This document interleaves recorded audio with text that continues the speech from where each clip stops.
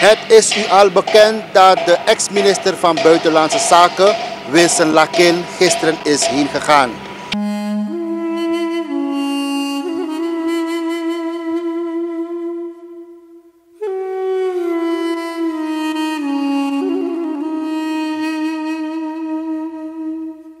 Ongeveer een maand geleden ging een videoboodschap van de ex-minister viraal, waarbij er werd aangegeven dat hij ziek is en hij alle krachten zou verzamelen om de ziekte te overwinnen.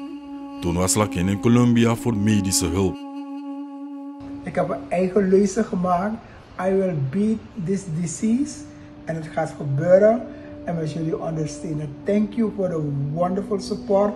En ik hou ook heel veel van jullie. Wij van de straat vonden het nodig om vandaag een gesprek te hebben met de huidige minister van Buitenlandse Zaken. Met de minister hebben wij gesproken over de verworvenheden van ex-minister Lakin als minister, als diplomaat. Want hij heeft veel betekend voor Suriname.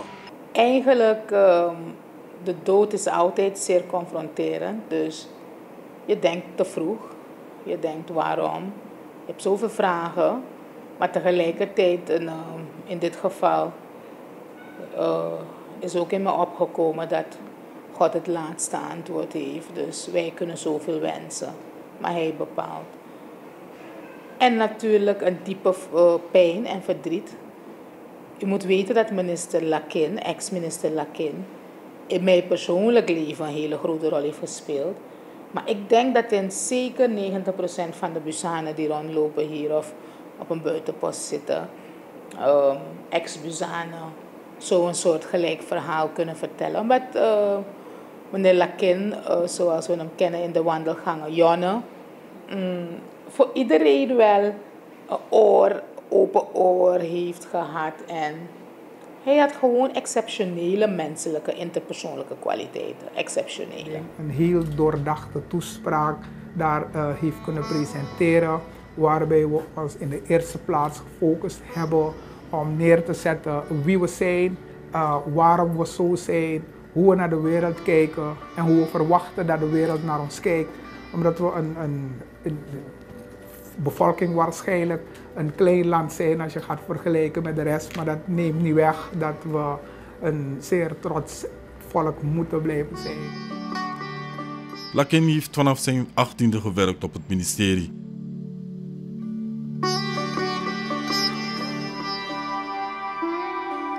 Hij heeft vele hoogtepunten gekend in zijn diplomatieke carrière. Vanwege zijn talenkennis, hij kon goed Spaans, Portugees en Frans spreken, kon hij makkelijker invulling geven aan het buitenlands beleid. Na zijn ambtsperiode in 2015 werd de minister vervangen door Nirmala Badri Singh.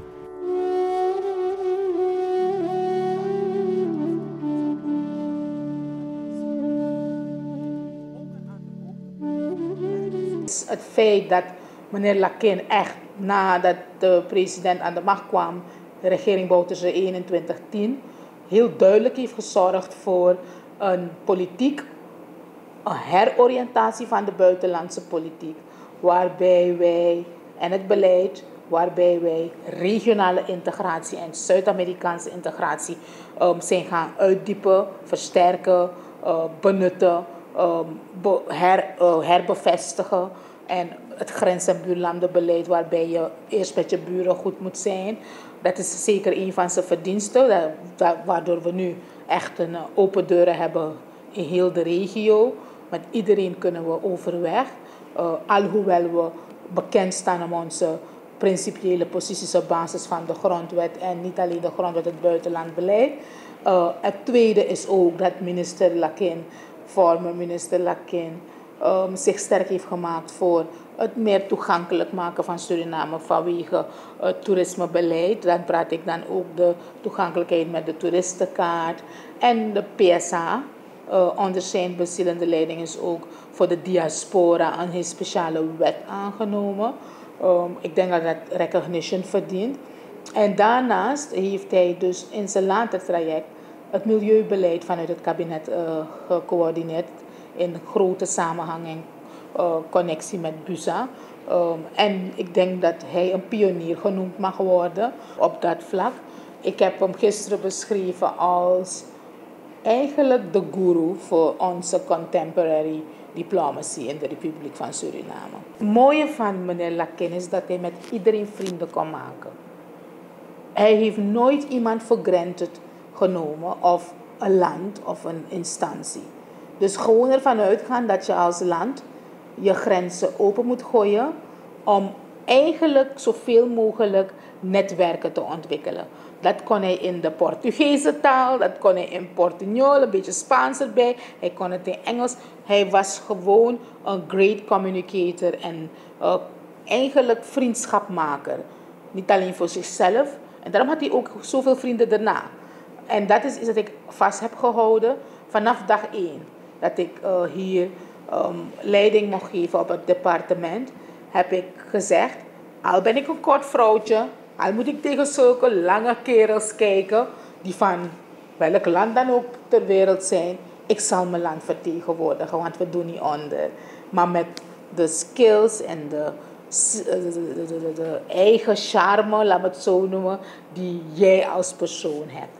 Het tweede dat ik van hem uh, heb geleerd toen ik de positie overnam, want is bij me geweest, we hebben heel lang gesproken over wat zijn adviezen waren. En een van de dingen die hij me heeft uh, aanbevolen, waar ik elke dag nog steeds aan werk, is luisteren, luisteren, luisteren.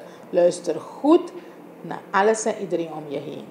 Dus um, bijna iets zoals, al ben je niet geïnteresseerd, luisteren als een goede diplomaat, luisteren, gewoon luisteren.